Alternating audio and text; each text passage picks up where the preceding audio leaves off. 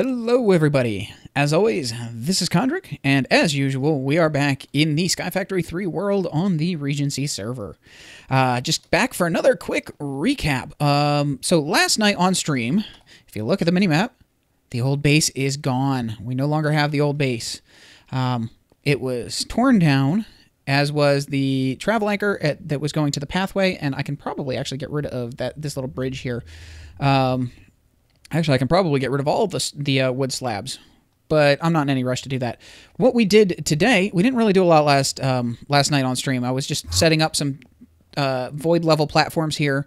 As you can see, we've got a few void level platforms. I also set up a spot for passive mobs to spawn over there, and they haven't been spawning. The uh, two cows that are over there, or the one cow I can't even tell from here, uh, that was that is over there, uh, was spawned with bait. It did not naturally spawn, so not sure why, but passive mobs are not spawning for me. Uh, it might be too low, actually. It shouldn't be, but it might be. Uh, and I've, you can see I've got some other platforms in place, the outlines of some platforms anyway. They're not fully done. And then uh, I also started working on setting up storage for the mob farm. It's not quite done yet. As soon as it is, though, I will be adding the Drop of Evil to make this into Cursed Earth. Uh, which will increase the mob spawns significantly. Uh, I also last night set up a uh, tier 3 crafter to automatically create the higher tiers of essence.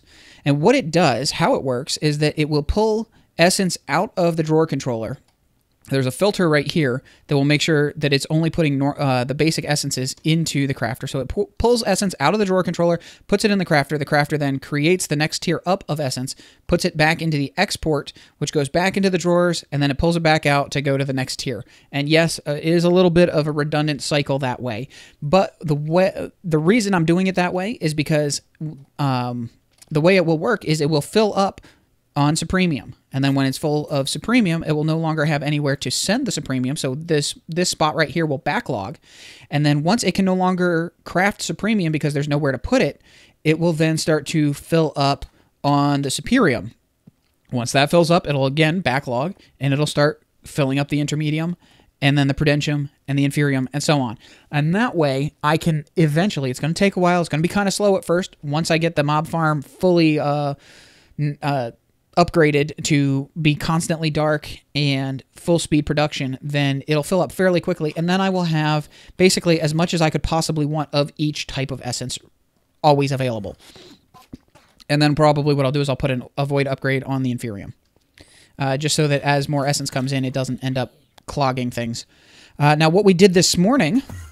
It, whoops, went to the wrong spot. Here we go. So what we did this morning was set up this farm platform right here uh, which I've got I've worked partway through. As you can see, I've got the essence seeds pulled up on the side here. I've worked my way through the first little bit of uh, essence. There are a couple spots I don't have the resources to make the seeds for, but my goal is to have one of each seed, at least one of each seed. And the thing is, I have looked at it in my test world, and that's really only going to fill like about four rows of the uh, farmland here. So I may end up doing two or three of each seed. I'm not sure yet. But the goal right now is to get one of each seed, and then I can I can create more as needed. Maybe increase certain uh, certain crops that don't produce as fast as I need or whatever. And I also set up the farming station. Uh, we can see the power for the farming station is decreasing, so I need to improve my power production. Uh, but I will be leaving this running. Um, I may turn it off for a little while and then turn it back on. Uh, I will be leaving this running for most of the day so I can get some essence going as you can see, I've got a decent amount already, which is good. And um, I've got a flux point under here, which is powering the farming station. And if we go up to the main platform, we can see that uh, we've got this flux plug here, which I put there a couple streams ago, a few streams ago, which is making sure that everything's powered and the staff of traveling gets powered as well. In fact, okay, send mode is smallest first, so that should be feel uh, that should fill up the staff of traveling fairly quickly. But anyway, yeah. So uh, again, it feels like a lot didn't get done, but like I uh, like I said in the last recap, even though it feels like slow progress, it's a big step towards my uh, my plans for the future. And I need to make more of more of these platforms. I have specific layout in mind. I know exactly what I want to do. It's just a matter of getting it all done because it's very easy to get distracted uh, during stream time. And as you can see, we've got too many mobs right there. That dirt platform needs to go away. Uh, that happened.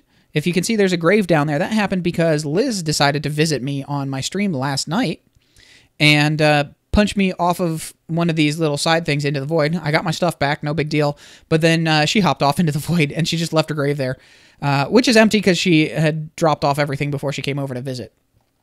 But um, yes, so there we go. That's uh, that's what's been accomplished in the last two streams. I am thinking though that for these recaps, what I might start to do is actually have it be a two-part recap because I have a very hard time remembering what happened um, the night before, just because I have a terrible short-term memory. Once things are done and over with, I tend to forget about them. So what I might start doing is I might start splitting these recaps into two parts, and I might just do a quick recap, record that part immediately after the night stream, after the evening stream, and just cover what has happened at night and then again, after my morning stream, I might go back and, uh, or I might recap the morning with a little bit of a, a, a reminder of what happened the night before, and then put the two pieces together to get the full recap. Uh, which will, one, give me a slightly longer video probably, and two, it'll make it a lot easier for me to remember what I actually did. So, anyway, um, so the plan for the stream tonight no guarantees that it'll work out that way. But the plan for the stream tonight is to try to finish up getting the mob uh, mob farm sorted and um, and actually get the mob farm closed off and fully high speed production, that kind of thing. We'll see how that goes. It may work out, it may not. Um, I also want to get some more crops done on the farm, and I really, really need to get more resource production in place. I need to get more power production. I need to get more resource production, uh, auto backup, and all that good stuff. I have to figure out where I want that platform to be first. That's going to be the main thing. Uh, but yep, yeah, so I've got a lot of stuff that needs to be done, and uh, I'm not quite sure where I'm going to be going with the stream tonight. But I'm going to go ahead and I'm going to try the split recap uh, after tonight's stream, and we'll see how that works out. So uh, again, hope you enjoyed watching the recap. I hope to see you on stream, hanging out in the chat. Link is in the description, of course, to get to my streaming channel, which you can go to kondrik.com slash stream to get over there. And uh, yep, hope to see you in stream and have a great day.